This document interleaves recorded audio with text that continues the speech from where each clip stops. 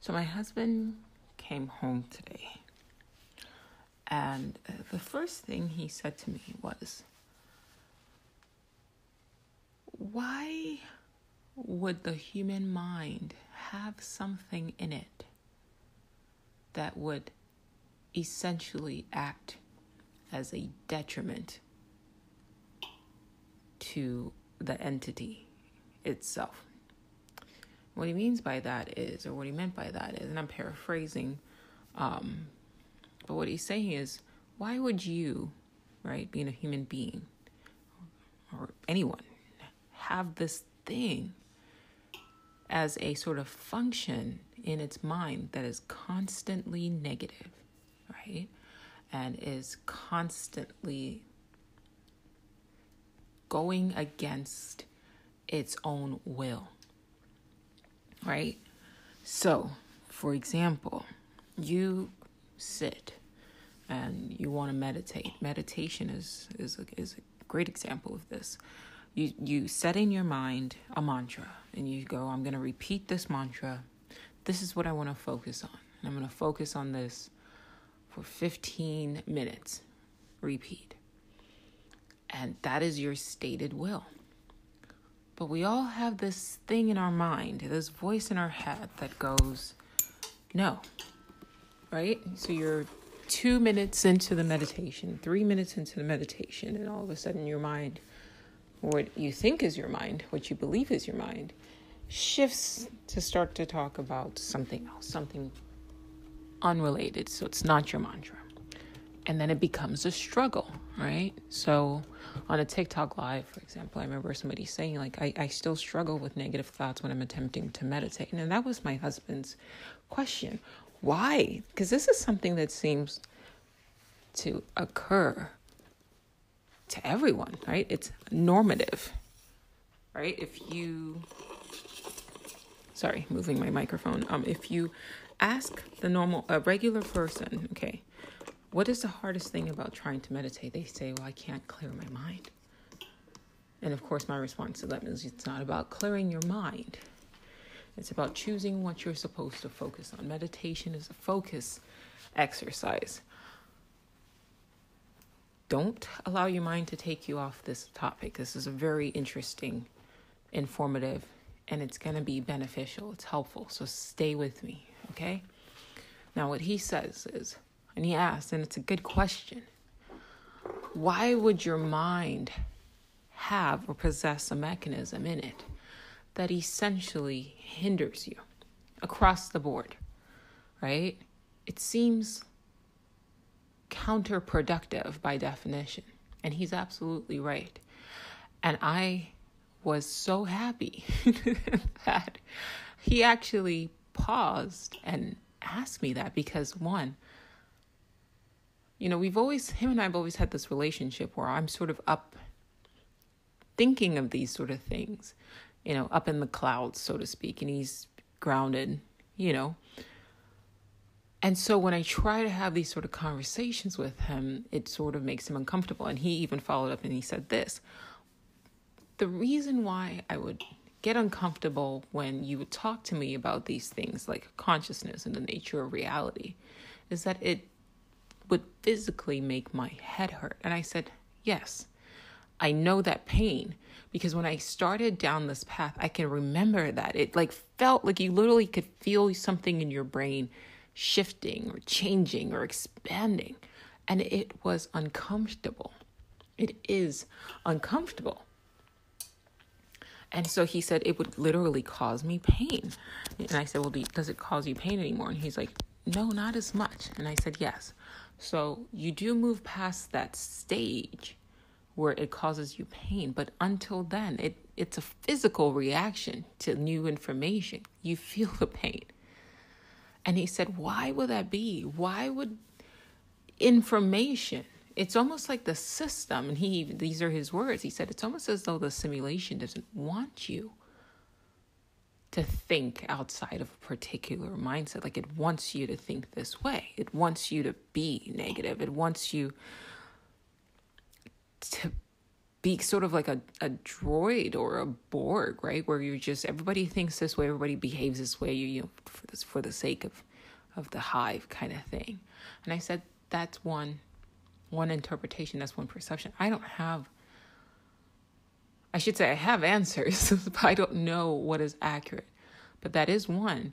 But for me intuitively, my response was that intuitively it doesn't feel to me like it's the simulation that is at fault here. And where my mind went to was parasites. And he said, okay, well, why do you think that? I said, listen, by definition, a virus is a parasite. It's something that attaches itself to an entity or form or whatever, and it disrupts its natural function, right? Um, your mind, your brain, right? Your physical your physical body, all of these things are susceptible to parasitic entities, right? If you're if you can get a stomach virus or a stomach parasite or a worm, a tapeworm, right, physically, right? That's your physical form getting a parasite. Um, because the human body is a physical machine, right? It's an organic machine. It's an organic, it's a type of organic robot in a way right? Wetware. It can get infected by a virus, by a parasite, right? But your computer, which is hardware, right, can also get infected by a parasite, right, which is a virus, a computer virus. So I broke it down and I said, listen, the human body can get infected by a virus or a parasite your computer can get infected by a virus or a parasite. I said, Have you ever been around a person where after you spend time with them, you walk away feeling drained? There's a term colloquially describes them as like energy vampires, right? But that's, you know, in a way, they're they're not attached to you, but at the time that you are connected with them, they sort of drain you of energy, right? Call it energetic vampires. Okay? Why can't you have an, a parasitic, an energy parasite? Extrapolate the micro from the macro and vice versa, right? if your computer is capable of getting infected by a virus and your physical body physically is capable of being infected by a virus and we're living in a simulation my guess is if you're listening consistently to my podcasts then you, you're either playing with the idea or you subscribe to the mindset that we are living in a simulation and you know that that's where i'm at i'm both feet in this is a simulation um, it's an extremely complex simulation, like I explained in previous episodes. Um, however, it's still a simulation. Uh, why can't the simulation itself be infected by a sort of parasite or a virus? And our physical forms, and for those of you who don't know, when I refer to yourself, I try to make distinctions between your physical form and I consistently say the person that you see when you look in your mirror, it's just a vehicle, it's just a body, all right? It's just a suit that you're wearing. To use terminology from Altered Carbon, it's a sleeve, right? Consciousness, right, is what's controlling the body, right? And consciousness cannot be found in the body right? Just like in a VR game, you could be controlling an avatar.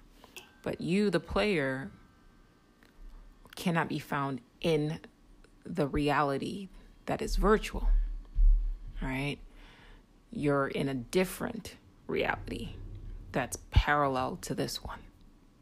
And by this one, I mean like your video game world. Does that make sense? So if I'm playing Super Mario and Luigi says, you know, there's a consciousness controlling you, Mario, and I want to go in and find the player and he tries to let's say Luigi is a brain surgeon, so he tries to perform brain surgery on Mario because he's looking for you, the player that's in Earth. He's not gonna find it because it's a whole different reality. Sometimes I talk to people and I try to convey to people the like the importance of detaching attachments to the physical form. Like somebody on my TikTok commented about physically traveling through time. You know, and I said no, consciousness. I said yes. You can travel through time, but consciousness is key and I thought they got it, but they responded back, no, I meant physical travel. And I just like didn't respond because they weren't quite ready for what I was saying. Separate your physical form from your consciousness the way you would separate your a video game, a form in a video game from you, a human being controlling a virtual character. It's like that. You will not be able to find your human brain or your human consciousness that's on earth, right? In the avatar mind of like a virtual reality game that you're playing. You really have to start looking at it in that way, okay? But that said, this is a fully immersive, multi player role playing video game, right? Extremely advanced. We can call it a quantum simulation. And like I said in previous episodes, I only use the terminology of simulation, uh, you know, or I only use, you know, video game analogies because as of now, I'm operating within my understanding of technology, right? There's going to come a time when we will advance past video game, and then another analogy will be used that will better fit and better describe our re- reality or simulated reality. But for right now, simulation fits. When William Shakespeare spoke of all the world being a stage, he's basically saying all the world is a simulation. But he was using and he was speaking from his understanding, right? As a playwright, he looked up and said, Oh, yeah, this is a play right? Everybody's wearing a mask, right? Personas, everyone's acting out these roles. If you take William Shakespeare and you bring him to the 21st century and you hand him a PSVR, he would say, Ah, this is what I meant, right? But he doesn't, he did not have or he does not have access to that technology, so he can't use the terminology. He can only use the terminology that fits him. So when I say we are living in a VR virtual reality simulation, I'm using the terminology that fits me with the present understanding of technology that we have now. You know, the ancient Hindus, they call this a game. They call, they call this world Leela, a great game, right? But if you took a, a philosopher from, you know, ancient India and you brought them into the 21st century and you gave them a VR helmet, they would use the terminology ah, yes, this is what I mean. This is a virtual reality. This world is a virtual reality, and we're all using our avatars to play this game, right? So we are in mortal consciousness playing a mortal game. Does this make sense? So, 500 years from now, right, I will be heard somewhere, right? There will be a technology that will be able to scrub the airwaves and listen to the voices of people that came in the past. And my voice will be picked up by this technology. And people 500 years from now will be listening to me talking about this same thing. And they will have their version of virtual reality. And they will say, yes, back in 2021, a human named Joe spoke of this world being, you know, a simulation, a virtual reality, a type of virtual reality simulation. But now, let's say in the 500 years from now, they have like a holodeck, right? So then they say, ah, yes, reality is a holodeck, right? Now, I think I've established that firmly enough. As all computers can be hacked and are susceptible to viruses, right? Your human body can be hacked and is susceptible to viruses. Your phone can be hacked and is susceptible to viruses. The human body, metaphysically, spiritually, energetically, can be hacked and is susceptible to energetic parasites. Now, there is a book called uh, The Future of the Mind, I believe. It's either The Future of the Mind or The Future of Humanity. It's by Michio Kaku. And in it, he talks about, ah, yes, it's Future of the Mind by Michio Kaku.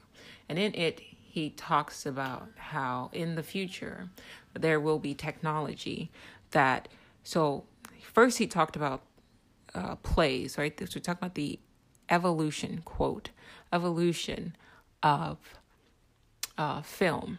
So first we have plays, right? And actors. No, first actually you had storytelling by the fireplace, right? Early uh, man, early mankind. It would sit around the fireplace and tell stories and you know make figures with shadows in your hands and that was our how we entertained ourselves and then it turned into plays right you wore mask you wore masks and costumes and then you acted out a story and then it evolved into like black and white films where you would see the captions but they couldn't record the voices so it's like um, you know those old black and white movies i forget that guy charlie chaplin right that kind of thing and then it moved to the talkies right where all of a sudden now it's like you could hear the characters like speaking. Oh wow, that's great. And then we had and then we started having movies. And if you look at the evolution of movies, like on my TikTok I I did this thing about like what's your top, you know, like six favorite movies and what do they tell you? What is your consciousness trying to tell you, you know, by having you be attracted to these movies? Um and I was wearing a Back to the Future t-shirt and somebody said, it's interesting that you didn't list Back to your Back to the Future as one of your favorite movies, and it actually is like a really great movie that I, I enjoy, but I didn't list it as one of my favorite movies because I guess in my mind, in order for me to sit down and whittle down what my favorite movies were, um, I gave it a category of okay rewatchability, um, because I I love so many different movies.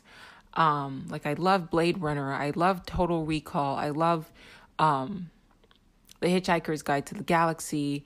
Um, I love Penelope. Penelope is actually my favorite movie. I didn't list it on the on the TikTok, but it's actually one. It's like my second favorite movie behind Meet Joe Black.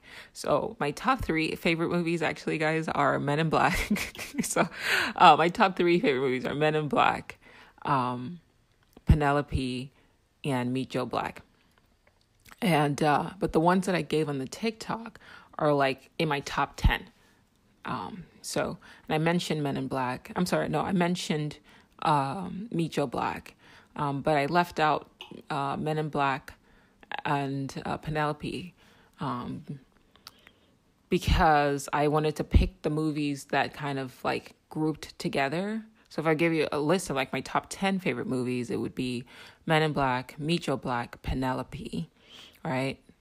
I Robot, The Matrix, um, ooh, brain fart. Uh, what is it? What is it? What is it? What is it? What is it? Oh gosh. See, now my brain's like on the spot and I know I'm, I'm recording. I can't think of it. Hold on. Oh man. Okay, so The Matrix, Matrix, I Robot. I keep wanting to say Eternal uh, Sunshine of the Spotlight, Spotless Mind, but that's not it. Um.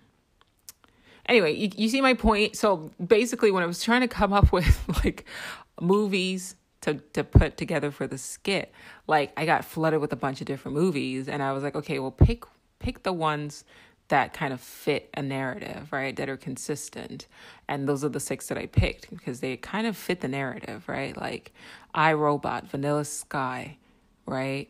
Um, that's that's one I forgot about. Uh, but I Robot, Vanilla Sky, The Matrix. Um, I think I mentioned The Truman Show, um, but The Truman Show is actually one of my favorite movies as well. Um, but they all basically, if you if I sat when I sat down and looked at all my favorite movies, um, except for like Penelope, they all basically speak to one the nature of the real of our reality being false like a construct like the truman show for example right? Like truman you know he's living his whole life thinking like his life is real but all the while he's actually like on this tv show and doesn't even realize that he's in a tv show right? So his reality is fake is false. And that movie was my favorite movie when it first came out. And that movie tripped me out because like for a while I was like looking at everybody like well how do I know that you guys aren't like actors in this movie? You know but like and that was like from a young age.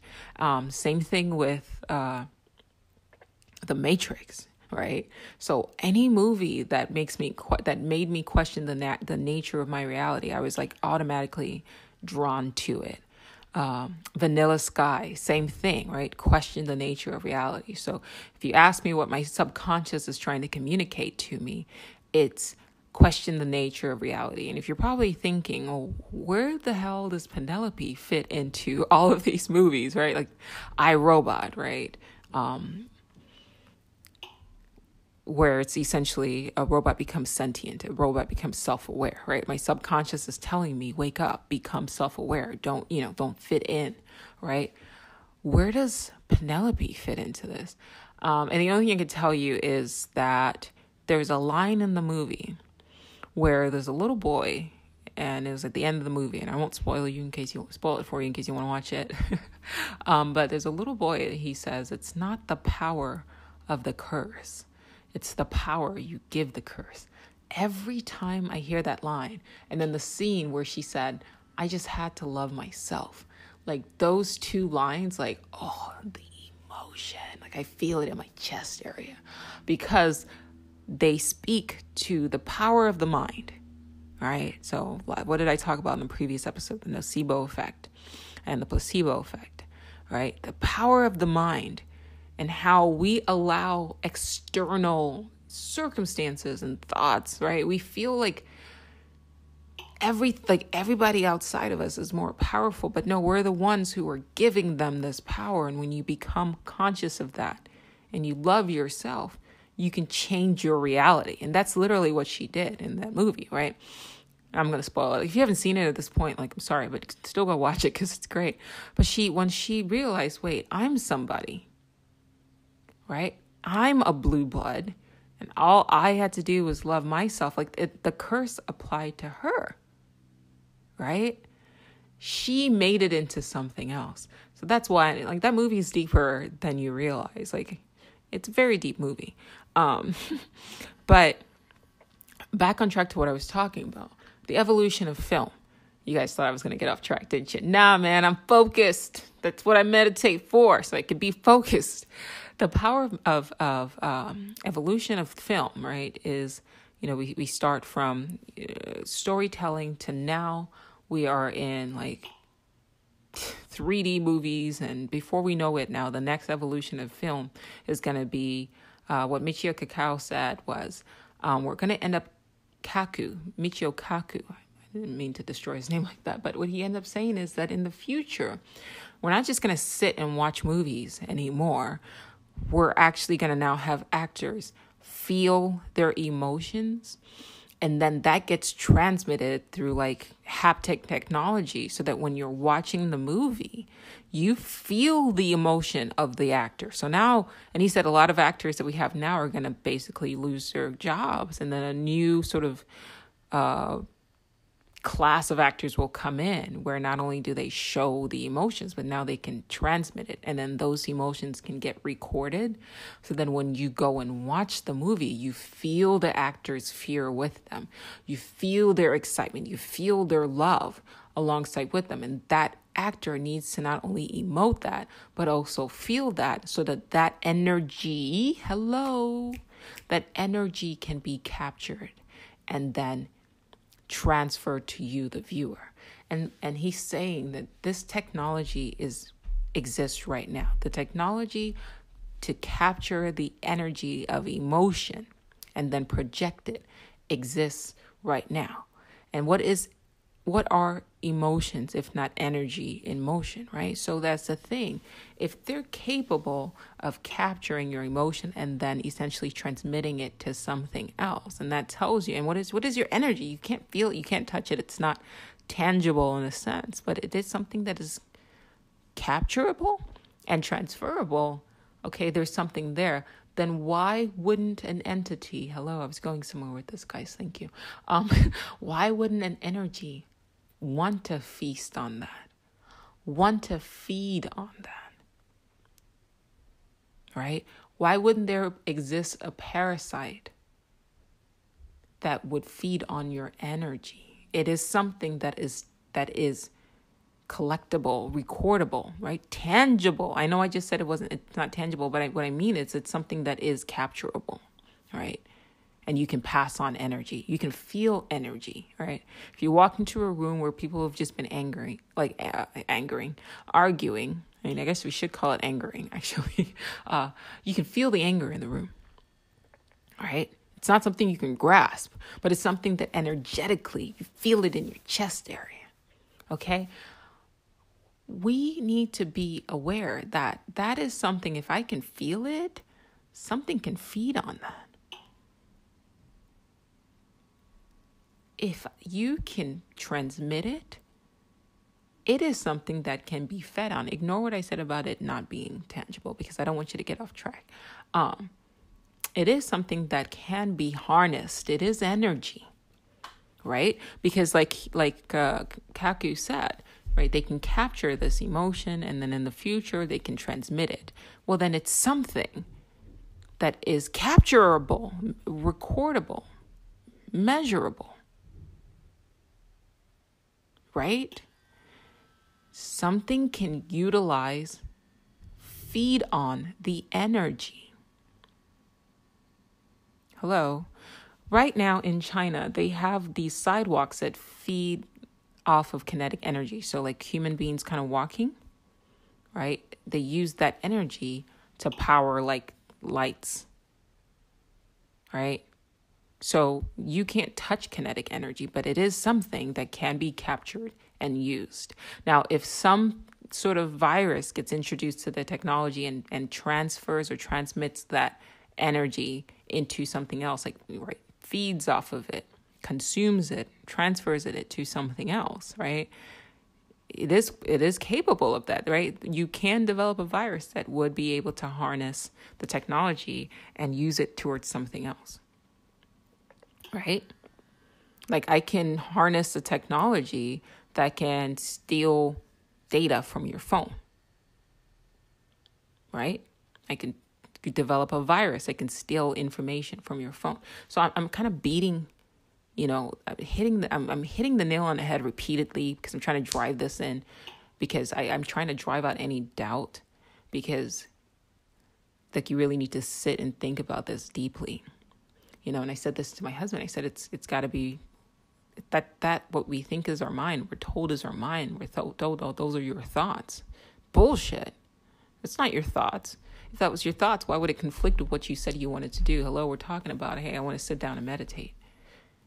Why can't you sit down and meditate? It's your mind. And why is this thing always negative. It's always fucking negative. It's always fucking negative. And that's what he said. It's always negative. And I said, not only is it negative, it always lies. Like it's not true. And when I, when he said that, why is it negative? And I responded, I also thought like electrons, electronics. Electron is negative energy. Now this is just a theory that popped into my head. I'm sharing it with like with you guys, okay? Electronics. We are addicted to electronics in a way that could be interpreted as us being addicted to negative energy. Because an electron has a negative charge and a proton has a positive charge.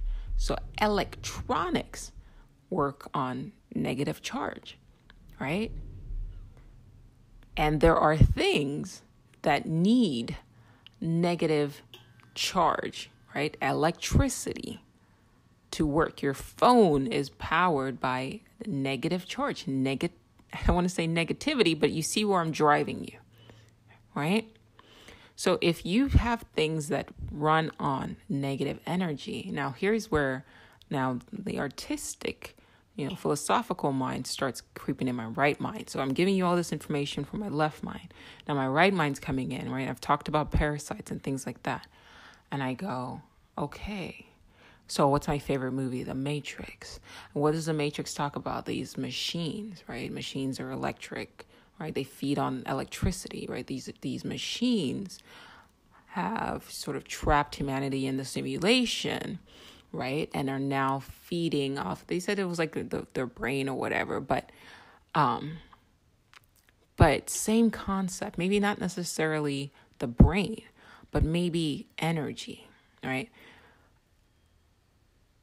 I want to posit that we are consciousness having you know, an experience in a simulation. But the simulation is like a sort of like a open source. Okay? And there are laws and there are rules, okay? But just like anything that's kind of open, like Androids, like Androids are really easy to sort of like hack, right? Or quote jailbreak. Um, but as a result, you're also more susceptible to viruses. And I would argue that the same is with the simulation that we're in right now. It's a sort of open source simulation. I'm not I don't know if I'm using the terminology right, but if you if you're picking up what I'm putting down, thank you. Um, but you have to I think I think that there are more than one simulations, right? Just like ours, but with different rules. And maybe there's an Apple type you know, simulation where it's like very, you know, I've used this analogy in my other podcast, um, The Dark Oracle's Guide to the Multiverse, but um, I'm to like, you know, repeat it here. Uh, maybe in this reality, it's kind of more free. You know, there's still laws, right? Like, like with a with an Android phone, with a Samsung, or whatever. There's still rules, but because it's kind of more open source, your your mind is more susceptible to viruses, right? And so most people right now, because when I say I use it, I said, well, maybe we're just infected. Maybe our minds are infected by this, you know, some sort of like energetic virus, you know. And he said, well, that would have to be a very prolific virus because look, it's like everywhere. And I said, babe, it's aren't we in the middle of a pandemic? like, yeah, that's kind of how viruses work. They spread from person to person they spread from family to family, right? If it's a mind virus, right, and your parents were, you know, their minds were infected by it, and then when you were born, like it was kind of passed on to you, right? Then yeah, that would make sense. I mean, it's a prolific, you know, virus, and, and that's how viruses do. They kind of spread, right? That's how it works. So, what if there's this sort of energetic parasite within the simulation? And I'll, I'll use virus. What if there's an energetic virus within our simulation that feeds off of negative energy, right? That is powered by negative energy, the way your electronics are powered by negative energy, by electricity right? And it's attached itself to the human body, to the human mind, even, right? There's a scene in Doctor Who. Um, I think the episode was called uh, Turn Right. You can Google it. Google Doctor Who Turn, Turn Right. And in it, Donna Noble goes to like a, a planet with the doctor and she goes into a shop and there's this entity that feeds on like potential or times like a temporal bug and it attaches itself to Donna's back and then there it has her think about a point in time where she made one different decision right? She goes to a stop sign and it was a choice between turning left and turning right right? And if she would have turned left she would have never met the doctor but it was her meeting the doctor that actually saved the doctor's life. And then by saving the doctor's life, all of these other things that, you know, all these other like positive things came from that, right? That happened simply by, by her making one little decision to turn left. And what the entity, I'm, I'm sorry, to turn right, but what the entity did was like use her mind to psychically take her back in time. It didn't explain it this way, but I'm like filling in the, the holes. Um, it took her back in time and then caused her to turn left. And as a result of it doing that, of her making that decision, the doctor died, and then all this sort of calamity sort of broke out. And then there was just a lot of chaos. And then that bug, that entity, fed on all of that, like energy. Energy, guys. It's all energy. And I think, like, what if that is sort of what's happening more or less like not maybe not to that level but what if the, I'm drawn to that episode because there's there's a message being communicated here. Now I, have prefaced all of this, so you got to stay with me. And I guarantee, I mean, I'm, my guess is you wouldn't be listening and consistently listening to my podcast unless you, you know, resonate, you know, on some level with what I'm talking about okay? But the human, oh, let me finish my thought, I guess. In that episode, that bug, that Donna that turned left, she still had the bug on her, kind of consuming, you know, potent, you know, potential energy. And people would kind of be able to see the bug, but they couldn't, right? Because it it kept phasing in and out, like it was like shifting tempor- you know temporally or spatially i don't even know i guess it was shifting in and out of dimensions um and probability um probabilities rather. But people could kind of see it. So you would see in the scene people kept looking at her back and thinking like yo there's like something on your back. But then like like when she would turn, you couldn't see it, but they just instinctively knew that it was there. And when I think about that, I think about like books, for example, that like The Power of Now, that calls it a pain body, right? Uh, Eckhart Tolle, he wrote about this like parasitic energy same thing, right? So parasitic energy, he called it the pain body. He says it's like he says it's like manifested by culture or whatever. So he's not using like technical terminology, but he's more or less saying the same thing.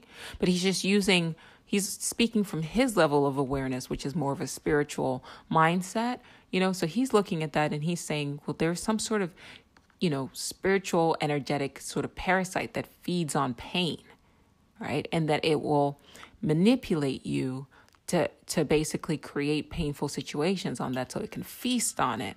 And I'm saying the same thing, but I'm using terminology that's more familiar with me, right? I'm using more of a tech technological perspective and say, you know, well, how do viruses work, right? Viruses work by hijacking its host and then manipulating the host body in order to get it to basically be a source of food to feed its need, right? So what you consume or what you, you know, yeah, I guess what you eat or what you consume is now used not to feed yourself, not to benefit yourself, but for the parasite's benefit, right? So when my husband asked me, why would you have this thing in your mind that does not serve you at all? Right? That's why the first thing that popped into my head was it's got to be a parasite because only a parasite attaches, gloms to its host, and then makes it do things that doesn't serve its host. It serves them. Like I, I think of like the Toxoplasmosis gondii uh, parasite that essentially, if I remember correctly, it like attaches itself to like a rat or something like that, and then it makes the rat like walk up to loses its fear of cats so that the cat will consume the rat, consume the parasite and then like proliferate within the cat. Google it. It's gross. It's like the only reason why I don't like I want a cat but I don't want a cat because like it actually like it can even pass on to humans and then change human behavior and that's just a physical, like organic parasite, okay?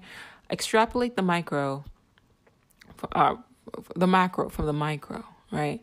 If if like and I'll re- reiterate, if your computer is capable of getting viruses, if your bo- your body is capable of getting viruses, if your gut itself is capable of getting like a parasite or virus, um, then we need to start thinking energetically, right?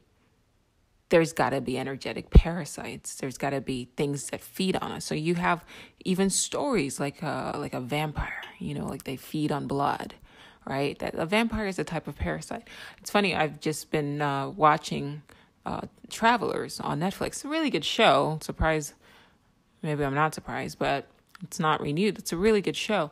Um, but in it, there was this one episode we just finished watching yesterday where there was an emerging AI that had been transmitted via nanobots into a young child. And it like took over the child's body. And the father of the child called in a priest. And I said, Oh, interesting. So now they're trying to use um, technology in a way to explain uh, demon possession. And I thought, okay, that's cool. I like that. So I tabled that. And then as the episode kind of went along, then the AI bit one of the characters, the main character, one of the main characters rather, and then the nanobots, right, or the nanites, you know, that the AI had taken control of, transferred out of the little girl into uh, a traveler's body, into a new host body. And I thought, oh, interesting. So now they're using, you know, technology to to sort of play with the idea of like zombies, right? Or even vampires, right? um, but transmission of a virus, right? That AI, that emerging consciousness, that AI that was seeking a host, you know, they said, well, it's looking for a body. You know, it's a parasite and it, it came into a person's body, hijacked the consciousness or whatever, and then kind of manipulated it to serve its needs. Negativity, anger, criticism, all of that negative energy does not serve you, it sickens you, right? Fear does not serve you, it sickens you. And yet we continuously, like, sort of are bombarded with these, like, images, right? And it seems like we live in a world that's essentially set up to stoke negative energy in people. And I just sort of wonder what's really going on. You know, now as I'm talking, and look, this is my podcast. You either you're either you either get me at this point or you don't. And if you don't, I doubt you would have listened to this part. So I'm just gonna say what I what I think is kind of how I roll. Um, but you know, we believe or we think that if aliens were going to sort of be amongst us, that they would be humanoid, right? So we expect little green men or Martians or Klingons or Vulcans or whatever, and that's fine. But you know, we need to really start expanding our minds um, as far as what our concept of aliens will look like. You know what I mean? Like, why do they have to be humanoid? Like, why can't they be energetic? I'll say this again. Why do they have to be humanoid? Why can't they be energetic? Why can't they be non-corporeal, non-corporeal rather? Right? If you have an astral body, if you don't believe in astral projection, I don't know what to tell you, um, but it's real. And you literally can Google CIA and astral projection and, and go crazy um, because it, it's legit, it's a thing. Um, and people talk about their astral bodies or whatever that are different from their physical bodies. So clearly, that's energy here. That's energy that's being discussed, right? So there's a separation from the physical form. You have your energy, whatever you want to call it. You can maybe even argue that your astral body is a sort of photonic photonic representation of your consciousness or a photonic projection of your consciousness. I don't know. But astral bodies are real, okay? And if an astral body can travel to parallel, you know, universes, which people who have astral projected have written about, then astral bodies from other universes can come here. And they may not all, they don't have to all be human. Or if they are human, they may want different things. Right? A physical form, a human body needs like food, right? As energy. So the reason why you eat is because you're consuming energy, right? There's energy in the food, calories, or whatever. So it's all energy. It's all energy, guys. It's all energy. Okay. So what would then what would an astral body, a non-corporeal, corporeal means body, right? Corpse, you know, corpse. So non-corporeal meaning it doesn't have a body, but it's an entity that doesn't have a body. Okay. What would a non-corporeal entity need to feed on? Or what let's let's keep it on topic. What would a non-corporeal parasite need to feed on? It still needs energy. It can attach itself to your form and then feed off negative energy. Right? I just had this thought of like Monsters Inc., but if you're not familiar with Monsters Inc., essentially these monsters would go to children's homes and scare them and then capture fear energy, right? It's all saying the same thing, right? We're all trying to communicate. Our artists of this world are trying to communicate to the rest of us in different ways that there is something that is feeding off of our energy there's, there are entities in this world, viruses, whatever you want to call it, all right? Just like I said, I can use the terminology of a simulation because that's my understanding, right? But then William Shakespeare can use the terminology of, you know, it's a play because that's his understanding. So Eckhart Tolle can say it's a pain body, right? It's an emotional parasite because that's his understanding. And I can say it's a virus, right? It's a computer virus that's attached itself to to the, you know, the human machine mind, right? Or I could even say it's a non-corporeal virus, not in humanoid form, but an energetic virus that's attached itself. And just like your computer runs on electricity, what if this virus the energy it needs is negativity, right? Electrons are negative energy. So we are, you're listening to me right now on a device that feeds on negative energy. Yo, this is like profound, guys. This is not to pat myself in the back. I'm saying that this is important. You've got to listen to this because once you become aware of it, you can separate from it right? How do you what is the antivirus? I'm te- I'm tempted to say microdosing mushrooms, but I would say look into it. This is not an endorsement of magic mushrooms um, because it's an illegal drug, considered and it's considered, I should say, an illegal drug. Okay, so I am not endorsing an illegal drug, nor am I encouraging you to break the law. I am saying that CNN and ESPN both have done exposes, or I guess documentaries would be a better term, on how powerful psilocybin is. So do your research. I'm not encouraging you uh, to break the law, okay? Um, because right now a plant or fungi uh, is against the law.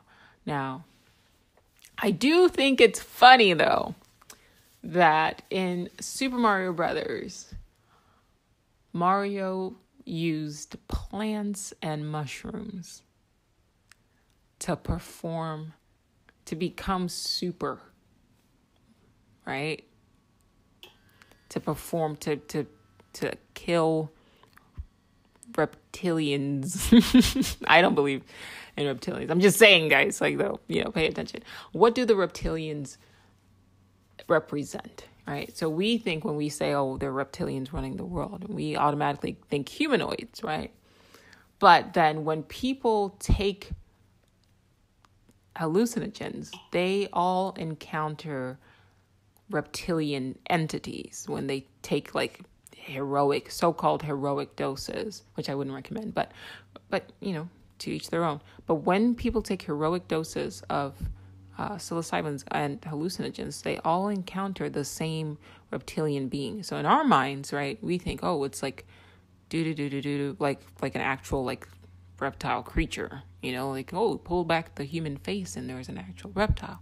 But what have I said throughout this episode? Like it's they're all kind of analogies for something else, right? From our understanding. I personally, when I took uh, my first sort of dose of magic mushrooms, I, I wasn't microdosing. I took like a, I didn't take a heroic dose because I know what I'm capable of. Um, I think I took like a fifth or something like that. Don't even quote me on that because I just don't know. Um, but it wasn't like, it was like a handful, a small handful, a very, very small tiny handful, okay? Um, but I encountered like the same thing. Like I kept, I closed my eyes and I saw like this dragon thing, like dragon energy kind of thing. Um, and I talked about that on my uh, magic mushroom trips. Um, and the fact that those two things kind of occur, uh, mushrooms and reptiles on Super Mario Brothers, is interesting to me um, as well. But off slightly off track. If you if if you want to know what i think the antiviral is i think that that's what it is. Like like just like any viruses like if you take a virus what is a cure? Well it tends to be you know like found in nature. You know what i mean? So if you have a virus in the mind right you've got to take something that exists in nature that will affect your mind right and that to me has been the only thing that I can think of that has affected my mind positively. Positively, right? Because you want to you want to negate, right? You want to balance. You want to balance out. So if your mind is negative, right, you want something that's going to introduce positive energy, right? And an influx of positive energy should cause the negative energy or the entity, the virus that feeds off of the negativity to kind of fall off. So, for example, um, wormwood is great. Like it's a great anti-parasitic. Do your research. Um, but I take a lot of wormwood. If I find that I've con- consumed too much sugar, um, wormwood is disgusting. but if I consume too much sugar, if I start feeling some sort of like gut issues, like stomach, like I might, it's like a stomach bug, I take wormwood. And this is not medical advice, I'm just telling you what I take. And it is so bitter, but it counters whatever I just the parasites that you know that I may have consumed that would be causing a stomach bug. They don't like it and it kills them. Um, so it's like, but I didn't eat something bitter in order to get, you know, the parasite, right? I ate something sweet. And so the to me, the way I view it is that the wormwood is like the bitter that counteracts the sweet. Um, so the same thing with mushrooms. Mushroom is like the it makes your mind positive and it counteracts the negative so that you are no longer food. Right? Or your mind or your mental energy. Now you're not radiating negative energy anymore. Now you're radiating positive energy, but it can't consume positive energy, right? Your phone needs electricity, right? It cannot run on proton, right? So if you connect your phone to something that is protonic, your phone is not going to run. It's not going to work. So it's the same thing. If you turn your mind and you make it more positive, right? Then this thing, this virus kind of dies because it can't feed, cannot feed on you. Okay. Um, and then another way, another good antiviral, uh, is meditation. Yeah, yeah, guys, I'm I'm always gonna mention it now. Sorry, uh, and um, the reason why meditation is interesting is because when you pick something to focus on, actually, hold on one second. All right, sorry, had to um, reboot the recording device. Okay, so here's my theory on why meditation works. When you mention meditation to people, the first thing they think about is, oh, I have to clear my mind. And so they think it's a mind clearing exercise. And I've said it before, I'll say it again. It's not a mind clearing exercise, it's a focus exercise. But now I want to correlate it to what we've been discussing in this episode. The reason why it helps is because what your mind does all day is constantly feed you negative thoughts. And I'm actually hesitant to say it's your mind doing this. I think I can say that we can that we've established that it's not your mind, it's something else. So let's say it's a virus. Let's say that like majority of humans were infected with this, you know, non-corporeal mind virus that needs you to create negative energy. So it's constantly saying negative things, right? Um, so just like um, on Monsters Inc., they need the negative energy, so they create fear, right? So they scare them to produce this negative energy. So this thing needs negative energy. So it scares you or it says negative things because it, it you know, it derives this energy from negativity. So I'm going to call it a virus. I'm not going to say it's your mind. So I want you to start separating your mind from the virus, okay? So that you're not attributing these thoughts to you. Because when you attribute the thoughts to you, you're more likely to listen to it, right, and take it in, and then it becomes a battle. So I'm saying it's a virus, and it's a virus that feeds on negativity. That's why it's constantly saying negative things. That's why it's constantly imagining negative things. And that's why it creates negative energy in you. Now, the reason why negativity, I'm sorry, the reason why meditation works is that one, if you give yourself a mantra to focus on, or if it's a breathing that you're focusing on, all it's doing is really, if we're breaking it down so it fits into this episode and what we're discussing, is it takes your mind away from listening to what the virus's program is. It's trying to generate negative energy in you, right? And it shifts it to something sort of neutral, something, you know, like mild, like just a mantra or something like that. But as your mind is repeating a mantra or focusing on, you know, your breath or whatever, it's not focused on the virus's sort of repetition and negativity. And so once you're not, when you switch your focus, one, you're controlling what your mind will focus on. So you're taking control, right, of the mind. But two, you're no longer generating negative energy, right? And to imagine this thing feeds off of your negative energy. So imagine that bug on your back, like I mentioned with Donna Noble on the Doctor Who episode. It needs that negative energy. But if your mind is no longer creating or generating negative energy, then it should starve and eventually fall off. And then once it falls off, that's when people who have meditated for years go, Oh, now I can clear my mind. Well, your mind is clear. It's not you clearing your mind, is that your mind has been cleared of this virus that feeds off of your negativity, and now it's just you and your mind, or you and your mantra, or you in the silence, right? So to me, that's why it works. Um, here's how I try, I, I want you guys to start looking at the act of meditation.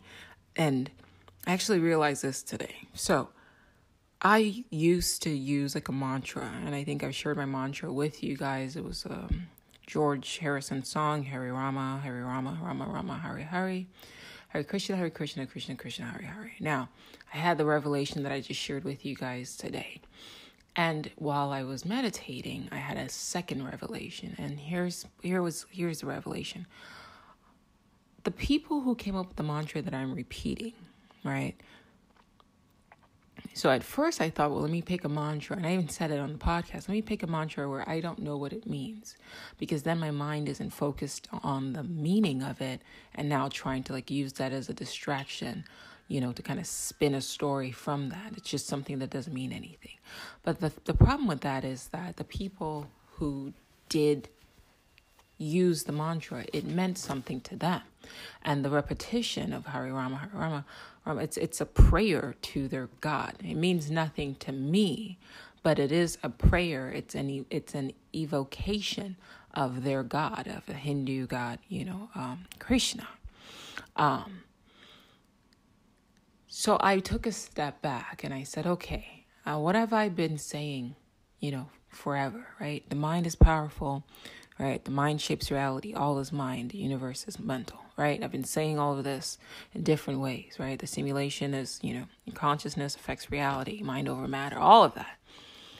And I meditate now for about one to two hours a day in the morning because I'm not saying you have to do this. It's just I tend to have more energy in the evening, right?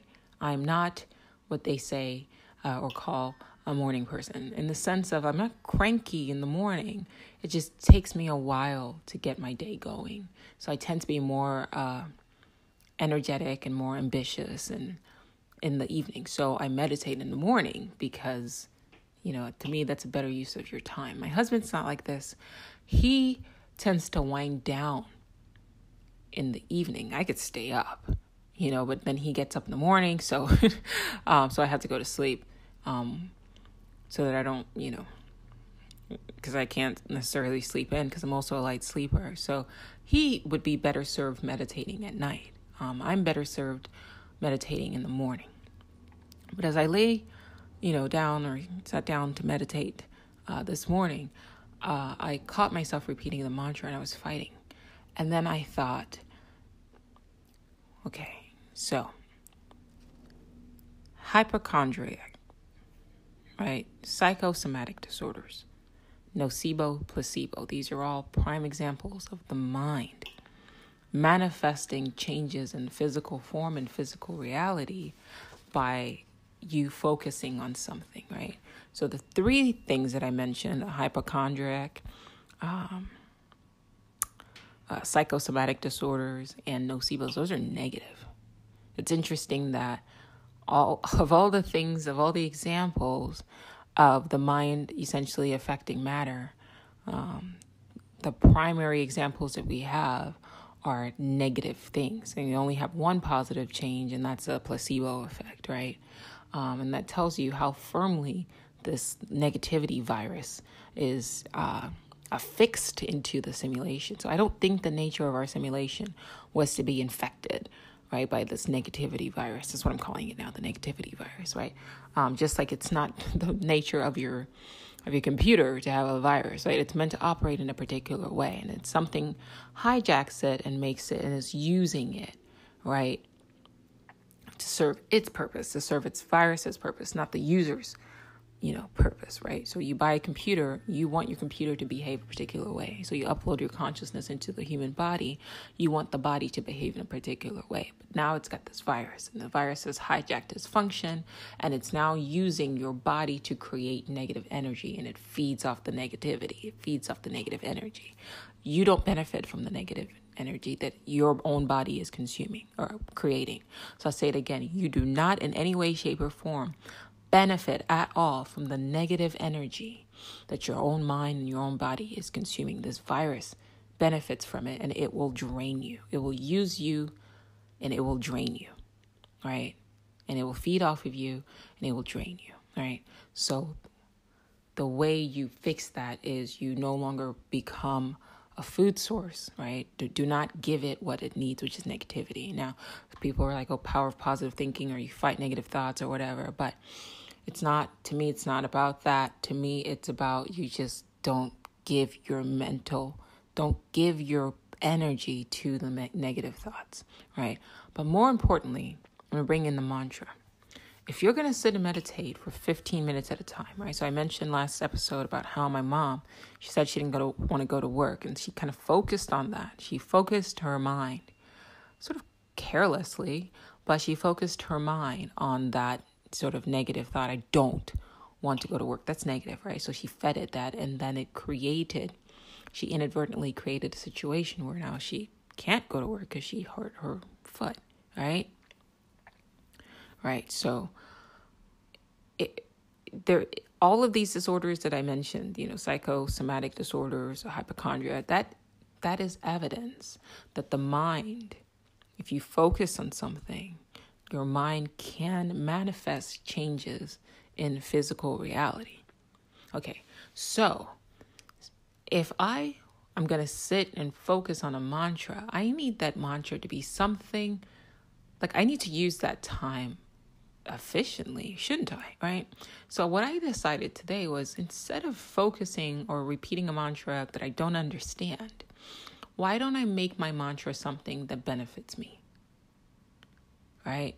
And so instead of repeating the Hare Rama, I changed it because I know now I operate, you cannot tell me differently. Like if you tell me your mind cannot affect your reality, I will walk away from you, miss me with that negativity. There's too much evidence that exists that says that you are, you know, that's not even you talking, that's your mind virus talking, and I'm not trying to even engage with that because you're not going to feed off my energy right? So I would walk away from you. There's too much evidence that shows that the mind absolutely does affect the body and it absolutely does affect reality. It absolutely does affect matter, right? Not to mention the double slit experiment, like where we see consciousness affecting, you know, things on a quantum level. Okay, I'm not even bringing that into this topic right now. I'll just focus on what we do know nocebo, placebo, you know, hypochondriacs, you know, and psychosomatic disorders. That's your mind affecting change. So look, that's easy. That's Googleable. You can prove it. Like it happens. It's it's a thing. So why am I sitting and spending two hours repeating a mantra, you know, that's has more of a religious meaning when I'm not really a religious person, right? Not saying I, I don't believe in you know aspects and truths that some religions provide but i'm not it doesn't carry the same meaning to me as a person who really believes in krishna right? Does. You get, get what i mean? So the emotion is different. The energy is different. So i'm using something incorrectly right? I'm just repeating a mantra because somebody said repeat a mantra and da da da da da. But if you go back to the ancients they use that meaning because they they use that mantra because they were trying to connect with God. It that mantra was fused with energy for them. And I've read in books on TDM and stuff like that that says, well, you can take that, you know, energy that's been infused in that word or in those in those mantras and kind of use it to affect change in your life. But that's somebody's hypothesis and I constantly am challenging the status quo for me. I'm going to create a mantra that I can use for my benefit. Because if I'm going to sit and spend two hours of my life, I'm going to use it towards actualizing a reality experience that I want to see, that I want to consciously experience. So instead of repeating Hare Rama today, I repeated, uh, I made a mantra out of um, and a life experience that I want to have happen. Now, I watched the OA. The OA is produced by uh, Brad Pitt's uh, production company. And um, I saw that. Uh, every time the credits rolled up, that came up. And I was like, bet. Okay, cool. This guy's deep. So my mantra today was I will work with Brad Pitt on a project. I will work with Brad Pitt on a project.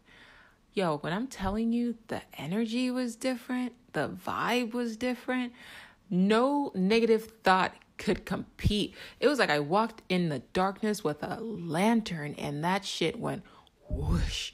Like I can meditate meditate rather on that all day. All day. There's nothing that can compete, compete with that. And sure enough, like I was sitting there and my mind, let me tell you, when I say my mind was still, because I'm operating from the mindset that I know, I know that I can feed my thoughts energy, right? And with enough of my energetic, you know, feeding, I don't know, right? I can grow, you know, a desire into a reality, an actualized reality experience. Like I know this stuff. So why am I going to sit and put that energy into some mantra that really isn't like it doesn't really mean anything to me when I can take that same energy and fucking put it towards a reality experience that like would be dope as fuck. Guys, when I say I was like animated, like I I like I was looking forward like when I was done meditating, I was like looking forward to like meditating again because like even throughout the day i've just been thinking about that like yeah. Guys and i'm telling you that the negative thoughts just like it was not even about me fighting them. Like i would rather my in my mind right now i know like if i know if i focus on something you can feed it. Like i've seen it happen. I've seen it happen.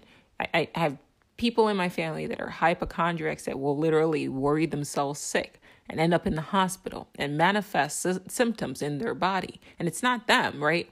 They have this mind virus that is like really attached to them and it, it's feeding off of their energy. It's transforming and, you know, transmorgifying their, you know, their, their strength, right? And it's like making it negative. I, I, I see that. I've, I've seen it. My mom, like, I've seen her, ma- you know, like manifest or actualize, whatever word you want to use. I don't like the word manifest. That's why I stopped because it's not, you're not you're not like oh i'm manifest i'm creating reality. No you're just the the reality experiences already exist. All you're doing is actualizing them. You're shifting your mind to that experience right? With your you know expressed desires and your actions your conscious actions. So she put her house on the market and she said you know my house will sell. So i've seen her use it for good right? Consciously when she desires something, she sits and she prays on it. She's very, very religious. She sits and she prays prays on it, and it works. Unfortunately, she she's allowing this mind virus to use her energy in the opposite way, you know, in a negative way, and you're seeing it happen. So with her leg, you know, getting injured or whatever, like, and then I told you last week or last episode about her trip to Atlanta. She didn't want to leave, and she was like, I don't want to go back home you know, uh, in an early flight and her flight got delayed. And I'm like, you keep like actualizing shit. like, watch what you're thinking about. So you cannot tell me. In fact, I feel like all of these experiences that happened just this month of April were meant to teach me, like, no, there's like, these are facts. There's power here. So I was like, excited like when I thought of this and I wanted to share it with you guys like yo I could take this I could take my energy why would I feed bad shit right? Because the moment focus, focus is powerful, guys. Like if you focus on something, like my my art, like that's the reason why my art's so good is because I'm focusing my creative energy on it, right? I'm not manifesting it. I'm actualizing it. I'm sitting and I'm putting in the focus. And then the focus is what brings it into, you know, this reality, right? It's what actualizes it. I'm not, you know, I'm not the one really doing it. it I'm the one actualizing these these images or whatever, right? And I explained that in the past episode. Why wouldn't I want to put my energy towards something that like an experience that I want to have? Like why would I want to grow that? Why would I want to energetically feed that? Why would I want to energetically feed negative stuff? Like miss me with that. And I ended up meditating for like almost like three hours, like two and a half hours. I was just, and I, and sometimes I meditate, I fall asleep. This time I was like, nope. And like psh, any thought that tried to come up that was like on some other like bullshit, I was like, nope, nope, nope. I will work with Brad Pitt on a project. I will work with Brad Pitt on a project. And like even throughout the day, like I've just been thinking about that, thinking about that, thinking about that. And so now, it's like it's become like it's becoming energized right? But it's positively energized. So now when this thought tries to come up now i've got like a shield against that that actually serves me right? So i'm putting my energy into something that's actually going to serve me and deflect these negative thoughts off my mind. Yo I'm for this. You guys try this. If you're trying to lose weight, it doesn't make any sense for you to sit and meditate on Hare Rama, Hare Rama, Rama Rama, Hare Hare. I just realized that. Any other mantra that you paid all that money for, like, sorry. If it works for you, I guess keep doing it. But for those of you who have had a hard time with that, and it's not you're not you're finding it's not working for you, yo, pick something that you actually want to like experience, right? I will lose 30 pounds. I will lose 30 and not just like while you're meditating, like think of that throughout the day. Like I repeat my mantras through the day. All right? Like I repeat my mantras throughout the day. I will lose 30 pounds. I will lose 30 pounds. I will lose 30 pounds. I will lose 30 pounds. Like imagine like throughout your day, like your brain tries to come up with somebody cuts you off and you're like right before you're about to be like say something, here comes your mantra, I will lose 30 pounds. I guarantee you when you sit to grab something to eat and you've been saying I will lose 30 pounds, like and you're looking at that donut, like it might hit you differently. You know what I mean? Like that that mantra might hit you differently where you're about to get that donut and then you're hearing your own mind instead of saying, oh, yeah, eat that donut, right? Or whatever, like you hear it saying, I will lose 30 pounds. You might put the donut down and go, yeah, I'm not even hungry. Right? Or I, I, I'm going to earn a $100,000. I'm going to earn a $100,000. Well, why not? It doesn't have to be like a religious thing, right? You know what I mean? Like, you can take that energy that you would spend sort of strengthening somebody else's mantra and make your own mantra. I don't know if it's going to work for you, but I'm telling you right now it has worked it is working for me. And it actually for me personally has worked better. Like I didn't struggle as much with my thoughts anymore because I know that I can energetically grow something. And if I can energetically grow something by focusing on it, like you beam your light of consciousness, like your brain, your, your mind, your focus, your light of consciousness is like the sun. All right. So you plant the seed of an experience that you want to have. All right. And you put it in the dirt, you put it in the darkness that is your mind. Okay. And now, do you like leave it in the darkness or do you shine the light of, light of your consciousness on it? Right? Your focus on it, right? Because that's the creative energy. It's focus, it's flow, right? What that does is it serves to give you, it serves as a mantra. It gives your mind something to hold on to. But it's also like you now become protective of that, right? So when these others, these negative thoughts try to creep in, you treat them, you know, you treat those thoughts like they're weeds. Not get the hell out of here with that. Nope. Nope. Nope. And I guess because I've I've spent such a, you know, such a a good amount of time holding like repeating mantras, you know what I mean? So like I, I don't even focus too much on it. I just I know that it's gonna happen. You know what I mean? But I think you can even expand it to like anything, right? Like I'm going to earn $10,000, you know, a month. I'm going to earn $10,000 a month. And there's no like, there shouldn't be any agitation around it. There shouldn't be any like, you know, you're not fighting it. it like literally, don't even think about it. Like, don't overthink it. Just hold it in your mind and repeat it like a mantra the way like, you, you know, you would mindlessly repeat just a regular mantra. You know, you don't worry too much about what it means. You're just repeating it.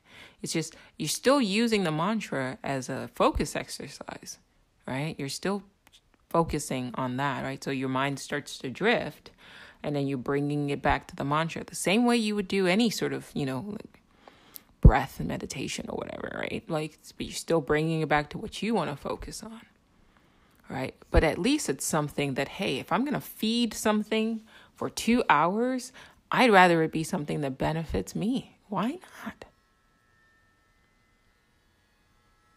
Why not?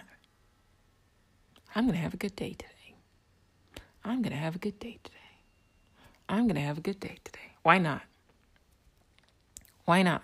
I feel personally, I think if you pick like a long term goal, then, you know, that helps. But with that in my mind now, that actually has started changing the way I'm like doing things. You know what I mean? Like as far as like, okay, like I, I, you know, I got stuff to write now. You know what I mean? Like because now it's in my mind. It's like a goal, you know? So once you take a goal instead of writing it down, you write it down, but make it your mantra. You know, take something that works and modify it to fit you. Like always, always, always, guys, always take something, you know, if if something that everybody's doing, don't just like do it because everybody's doing it in one way. Like sometimes it works doing things the way everybody else is, is you know is doing it. That's fine. But sometimes you got to ask yourself, well, why is it being done in that way? And if you don't know why it's done that way, then maybe you should pause and figure out, well, can I do it a different way? Can I make this better for me? So I'm not saying it works for you. It, you know, if it works for me, it's going to work for you. Make it your own. You know, if a if a if a Hare Rama Hare Rama Rama Rama Hare Hare works, it doesn't mean anything, and that helps you. As long as you're choosing what you focus on, and that works for you, great. This works for me. I found that it actually works better. And every once in a while, like I'll still toggle. Like I noticed, like I'll toggle between, you know, repeating my mantra of, you know, my normal mantra, Hare Rama, and then switching to like a reality, you know, experience that I want to actualize. So I'll, I'll toggle, I'll go back and forth or whatever. And that's fine. But what at the end of the day is happening is that my negative thoughts are like gone. Like, it's not like they don't exist. It's like, it's just as they start creeping up, like I literally visualize them as weeds and I go, no. But more profound than all of that is that you really do need to sit with what I've said in this episode. Look, I don't have three na- you know three letters behind my name, but neither did Buddha. Hear what I mean? Neither did Christ. You know what I mean? And some of you might raise an eyebrow, like, yo, is she drawing comparisons to Christ and Buddha? Yes, I am. And so should you. You see, Christ wasn't a Christian, and neither was Buddha. Buddha wasn't a Buddhist. You know, these were men that came, human beings that came and said, You can be like me. In fact, you can be greater than me. This is what you're capable of. Like they said that. Right? Be like me. You can be enlightened. Right? You can be, quote, saved. Right? You can be like God. You are God. You are children of God. They came telling you the message. But yet we've been programmed to say, no, I'm below. You know, I've got to worship. I got to, you know, call this man Lord. Well, if you have a Lord, then you're a slave. If you're Christian, Christ didn't say, I came to be a master over you. He said he came so that you can have life and have life more abundantly, have an abundant life. He said, You know, I am God, so are you. You are children of God. Your Father is in heaven. I'm not a religious person, but I hear the truth where I hear it right? Buddha didn't say if you sit under the Bodhi tree and starve yourself, right? Eventually you will gain enlightenment. He says enlightenment is for all. And in fact, is when he let go of the religious stuff that that made him fast and made him suffer, you know, and sit under the tree. It was when he that was when he became enlightened. I don't have to do this. Why am I doing this to myself? So I'm saying to you, you know, I can learn from a child. In fact, children speak more truth than adults because they're closer to the source. Right? They're they're just they're fresh back from like when they come into this world, right? They're closer to, you know, the world outside of this one. Like they just logged in. So there's still part of them that remembers what the other world is like. You can learn from anyone. And I'm telling you, you really start gotta you really have to start thinking about the voice in your head. The voice in your head that's not you. You really got to start looking at it as a non-corporeal sort of parasite or a virus right? Your your the human mind is a computer right? The analogy we always use like your brain is some sort of like a type of a quantum computer. You hear them talk about this right Even Dean uh, Buonomano wrote, The brain is a time machine, but the mind is a machine. The brain is a machine. And any machine, any machine, any sufficiently advanced machine can be hacked, is susceptible to viruses, just like your computer. And I would argue, I'm positing that that voice in your head that is constantly feeding you negative, you know, thoughts, it's doing it not to serve you. Does it serve you? How have you ever benefited from continuously imagining like all the worst case scenarios? How does that? It makes you suffer. That's not fun. You're constantly fighting it. So it doesn't serve you. Right? When you react, right? And somebody says something when you when you are afraid, right? You you're you're constantly generating this negative energy. How that's not for your benefit. You're not you're not benefiting yourself. In fact, you're making yourself sick. Something is benefiting from that and it's in your head. How does it hurt to look at it as okay, my mind has been affected by a negative, you know, an energy parasite, an energy virus that feeds off of my body's ability to generate negative energy. Like I said, your phone is a, a, a machine, right, that runs off of negative energy. Literally, electrons are negative energy. So if you have a machine like your phone that runs off negative energy, right then that means that there are other things that can, that need negative energy. And it doesn't mean that this parasite is evil or this virus is evil. Like that's us attaching our own sort of understanding to it. It is what it is right? Your phone's not evil. If it feeds off of negative energy it just is right? If you if an animal eats another animal right the animal's not evil because it needs a food source to eat. It just needs to eat right? So if something has kind of hijacked your mind and is using your body to generate negative energy, it's not evil. But you don't have to be a food source either, right? If you see a mosquito and it's sucking your blood, do you let that shit sit on you? If you're not aware of it, it's one thing, right? But if you don't especially if the mosquito has like malaria, which is a parasite, um, right? If you see it, bringing it all together, guys, you see it, get it off your body. You don't just let it sit and suck your blood. Or a leech, you don't let it sit and suck your blood. The leech isn't evil, it just needs a food source, which is your blood, right? The mosquito isn't evil, it just needs a food source, which is your blood right? A fly isn't evil, it just likes to land on you and shit on you. And I guess it eats something. I don't even know why it flies, but are on your body, but I'm sure they're doing something fucked up. Uh, but they're not evil. That's just their nature. So this energetic non-corporeal sort of virus that has attached itself to the human mind, has invaded, has entered into the simulation, right? It's not evil, and you know, it's not a full scale like infection. It seems to only really be affecting the human race right? You don't have dogs running around thinking negative thoughts. So it seems like it's only something that it affects just humans. And, you know, as far as like all the living species on this planet are concerned, like we're not that much. I mean, there's far more bugs for sure, right? And they have their own consciousness. So there's far more bugs than there are humans. You get it? Um, so whatever it is that this thing is, it's not evil. It just feeds off negative energy, right? If you don't fight it, right? One one option you can do is you train your mind in meditation.